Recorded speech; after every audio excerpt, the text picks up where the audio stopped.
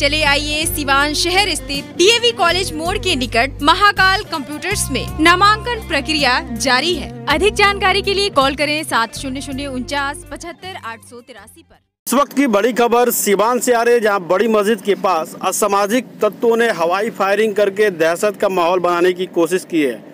घटना सिवान नगर थाना क्षेत्र के बड़ी मस्जिद के पीछे सोना चांदी के दुकान वाली गली में हुई है।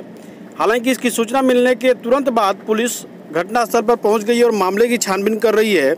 पुलिस के द्वारा जाँच करने के बाद ही ये पुष्टि हो पाएगा कि गोली क्यों चली है और किसने चलाई है। तो इस वक्त की बड़ी खबर आप देख रहे हैं, सिवान के बीच बाज़ार और बेहद ही भीड़ भाड़ वाले इलाके, बड़ी मस्जिद के पीछे वाली गली में गोली चली है। लेकिन गोली क्यों चली है, इसका अभी कुछ पता नहीं चल पाया हालाँकि सिवान नगर थाना पुलिस मौके पर पहुंचकर पूरे मामले की जाँच कर रही है। गोली चलने के बाद आसपास के लोगों में डर का माहौल बन गया और आसपास की सभी दुकानें बंद कर दी गई।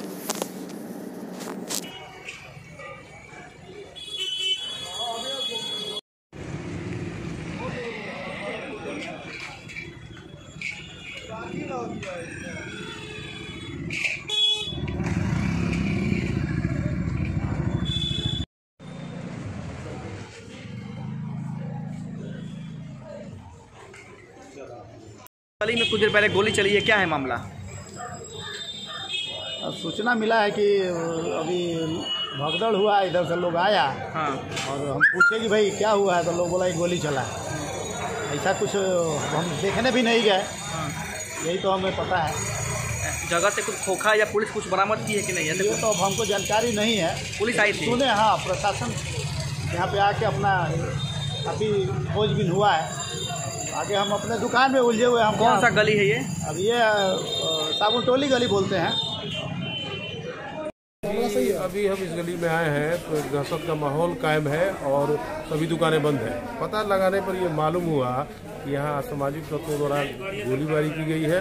हालाँकि कोई घायल है नहीं लेकिन दहशत का माहौल बना हुआ है। ये पुरानी बजाजी बड़ी मस्जिद के पीछे गंगा होटल के बगल में जो गली है उसी से संबंधित है।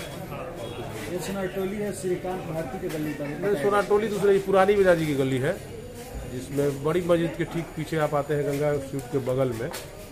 उसी गली में गोलीबारी हुई है दहशत का माहौल कायम है।